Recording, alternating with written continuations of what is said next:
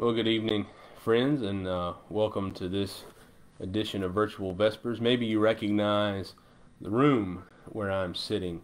Uh, did you know this fireplace works? I came in here today and turned this thing on. Now, it's probably not the right time of year for it, but it works, and it works pretty well. But uh, I wanted to come to you uh, today from a different place in the church, and maybe over these next uh, couple of weeks as we continue to do this, uh, we'll be meeting from different locations uh, in the church. But today, uh, this evening, I wanted to come to you from the senior suite, as we call it. Uh, this room has uh, held a lot of things over the years. Uh, every week, uh, when we are normally meeting here, your deacons and staff meeting here for prayer before Sunday school, for just a way to share concerns for the things during the week and the week that's coming up. There's a Sunday school class that meets in here every Sunday when we're back to when we're here together. Uh, some of you have been in this room to play games uh, and share meals with one another. We uh, here lately on during our Easter sunrise, we come back here, and many of us have uh, a breakfast in this room. Uh, every week, every Tuesday, me and a, a, few of you gather in here for Tuesday Bible study, and afterwards we go out uh, for lunch. So I thought it'd be might be helpful to, it might be good to, to be uh, in this room coming to you this evening to remind you of just uh, another space that we share together. Uh, as we're here uh, this evening, just a few things I, I want to uh, catch you up on before we uh, read some scripture and pray with one another. first of all, I hope you're getting the chance to see our, our worship videos here online or maybe on YouTube or possibly still through the emails that we're sending. Uh, we're continuing to streamline those uh, as we are, as by now getting most of the service onto one uh, continuous video. Uh, we're going to be recording uh, some elements for that those upcoming worship services tonight, uh, and so I hope you've been able to join us in worship in those ways. we are still uh, uh, doing you, you're all still doing well. I want to commend you uh, on continuing to support the work of the church, whether it's your giving here uh, at the church, dropping it off through the mail, online. Just commend you for continuing to support that work. We're going to be over the next week or so going to be using some of our funds that we have been gathering, some efforts to show appreciation to our healthcare workers. We're going to be doing some things. I'll let you in on, on some of that uh, later on this week, maybe through uh, again our email. But we want to uh, just show them uh, how much we appreciate them and what all they're going through. Uh, and in that same vein, I want to encourage you, if you're like us at home, uh, still receiving things in the mail, UPS, FedEx, that sort of thing. I want to encourage you to maybe leave a note for your postal worker, leave a note for some of those folks and let them know uh, how much you appreciate what they're doing, that they're out there working to make sure we get all the things that we need and, when we need them. Uh, as for uh, reopening, I'm sure most of you now have uh, heard the news uh, from our governor uh, about sort of a, a, plan for those things. Um, right now, as it is, the order is still sort of is not I don't want to say restricting church gatherings, but it's certainly not encouraging them, and I don't want to encourage that either. Uh, the best information I've been given is is waiting for either the the number of cases to plateau or in decline for at least two weeks before we begin to think about reopening. Uh, I think that's pretty sound advice, and, and I'll be watching that. Uh, I do want to make you aware, uh, in case you, you you might be thinking, as I did once, that whenever we're able to come back together, it'll be like flipping a switch. Well, it, won't. Uh, we'll be sort of piecing things together, wading back in to uh, normalcy, and that may mean uh, smaller numbers gathered. It may mean having to have uh, alternatives still for worship, but just in different locations. So I want you to be aware that be praying uh, not only for a time when we can come together, but be praying for uh, numbers to, to plateau and decline. Lord, we hope they decline uh, as fewer people are diagnosed and especially as fewer people uh, are getting sick and dying. Uh, you'll be uh, aware of some of those uh, reopening things as they come. And, and, as always, as I remind you in these weekly um, Vespers. If, if there's anything you need during the week, anyway, we as your church can help. Please don't hesitate to call us here at the church office, message us uh, via Facebook, or contact uh, your family's deacon to let us know uh, just what it is uh, that you need help with and what we can help you to do. So, uh, as we come together this evening by the fire here in the senior suite, uh, let us begin our time together with a word of prayer.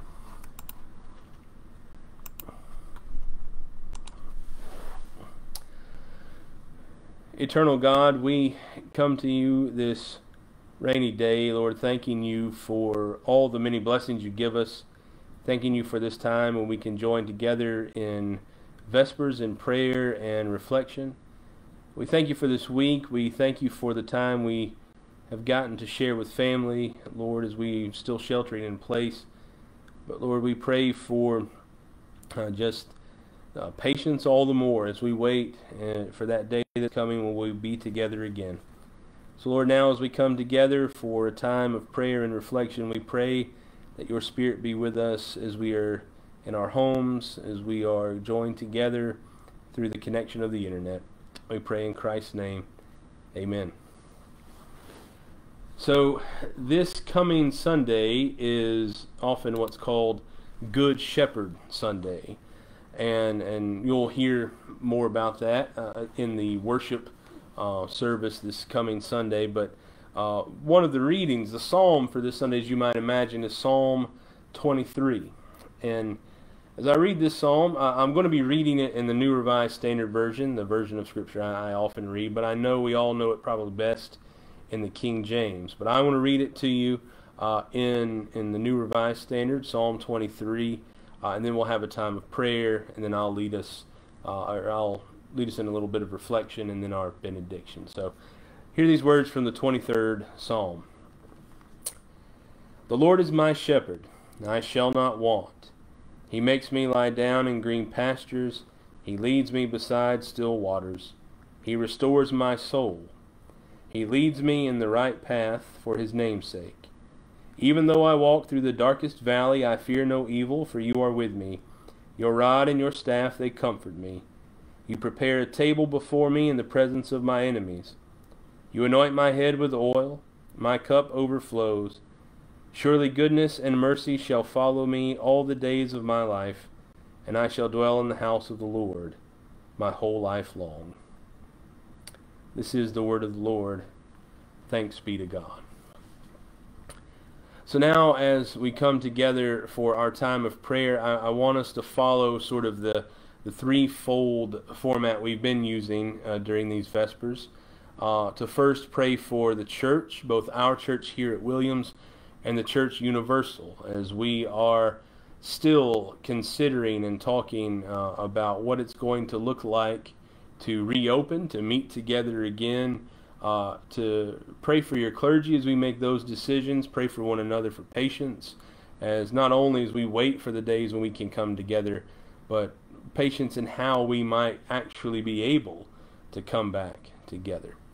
So pray for the church uh, in this time and to pray for others. As I, as I mentioned to you, we've been uh, over these last few weeks talking about those not only who are our healthcare workers, those who are sick, uh, whether it's from COVID 19 or from other things, for their families uh, and friends, but also, uh, as I mentioned earlier, praying for those who are helping, helping us to find some sense of normalcy in the midst of all of this, whether that is our, our postal workers, our delivery drivers, whether it's those who are still making our food so we can go pick it up or have it brought to our car curbside.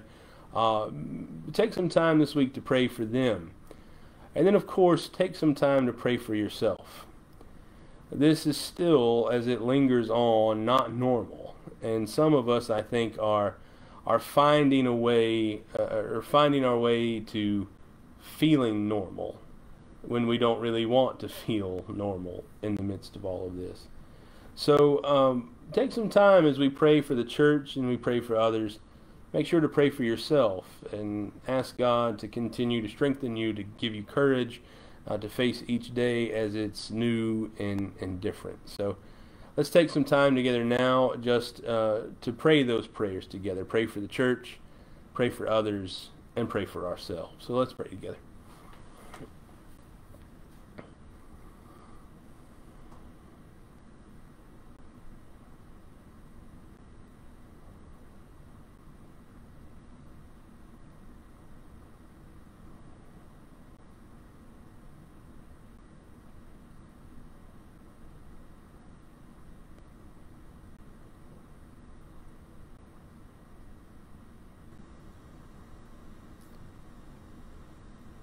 Gracious God, we come to you this evening again praying for for your church.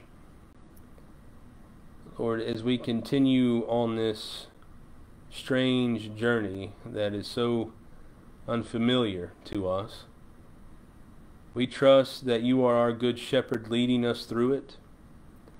God, we trust that you are already on ahead of us, calling us Lord, to follow you. Give us strength and courage in the days ahead as we still as we still, Lord, meet together separately in our homes with our families. Lord, help us not only long for the day when we come back together, but realize just how much the gathering together for worship and fellowship truly means. Lord, we pray for others, those in our lives who make make our lives just a little less chaotic and a little more normal. God, we lift them up to you, trusting that you bless them, God, that you'll protect them, Lord, as they as they continue on in their essential work. And God, we pray for ourselves that you give us strength, Lord, that you give us energy when we're when we feel so tired, God that you remind us with each new day that we draw closer to a time when we will be able to be back together. Lord, help us to not forget whatever lessons it is we may learn in this season, especially those lessons, Lord, that draw us closer to you and closer to one another. So, God, we lift these prayers up to you now in the name of Christ our Lord. Amen. So, the 23rd Psalm. Um, many of you, most of you, I think, probably recognize its words, particularly in the King James. But many of you probably know that these are the words that I read each and every time that we gather by the graveside of another one of our friends and loved ones to whom we have to say goodbye, if only for a short while. I read these words, the 23rd Psalm, and I always read them at graveside in the King James because I think there's something about that 17th century English that helps us to catch the poetry of the Psalms just a, a little bit better. But I always read these words at graveside because I, I think even outside of the Christian faith, they're words well, they're words that sound familiar. They're words that calm our spirits. They're words that give us hope.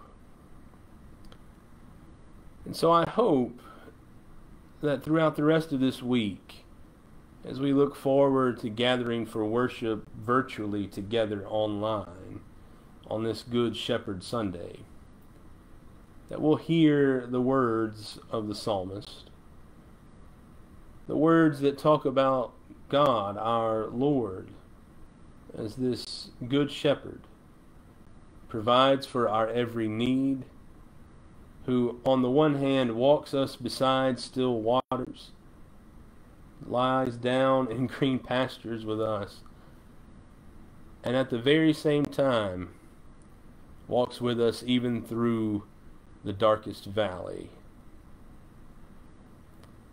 There may be days I don't know about for you, but for me, in the midst of all of this, where, where some days I feel like I've gotten it figured out. I feel like, okay, this is what, you know, this is just how it is now. We're going to get in this rhythm and, and this is what we're going to do. And then there are days when I forget what day it is. I feel like I'm sometimes being led by still waters reminded of the gift of my family, the gift of time, and the gift of quiet moments alone on the front porch.